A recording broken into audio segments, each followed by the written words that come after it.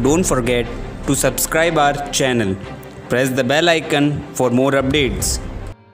अपनी ये दो दौलत किसी को न दें, नहीं तो जीवन भर रोएँगे जी हाँ आचार्य चाणक्य ने कहा है, जिसका ज्ञान किताबों में सिमट गया है और जिसने अपनी दौलत दूसरों के सुपुर्द कर दी है, वह ज़रूरत आने पर ज्ञान या दौलत कुछ भी इस्तेमाल नहीं कर सकता इसलिए इन दोनों को अपने पास ही हमेशा रखना चाहिए, ताकि ज़रूरत पड़ने पर आप उसका इस्तेमाल कर सकें।